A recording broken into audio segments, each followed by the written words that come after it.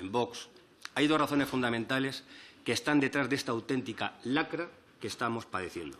La primera es el fácil acceso a este tipo de contenidos que tienen los niños gracias a las nuevas tecnologías, que es algo en el que se puede tomar ciertas medidas, como ya se está haciendo en Francia y en Reino Unido. Y la segunda, la segunda es la escandalosa exposición a todo lo relacionado con el sexo y, sobre todo, a sus aspectos más escabrosos, con las que están bombardeando a nuestros menores como parte de esa agenda ideológica que ustedes están intentando implantar y ante la cual los niños y muchos preadolescentes no tienen ni la madurez ni las herramientas emocionales necesarias para poder asimilar.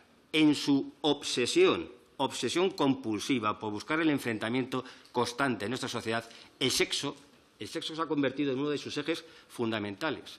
Y qué mejor que buscar a los más vulnerables, a los más indefensos, para llevar a cabo su adoctrinamiento, aunque esto pueda ocasionarles serios trastornos que posiblemente vayan a durar toda la vida. Miren, señores de la izquierda, se lo hemos dicho muchas veces. Por favor, quiten las manos de nuestros niños, quiten las manos de nuestros hijos.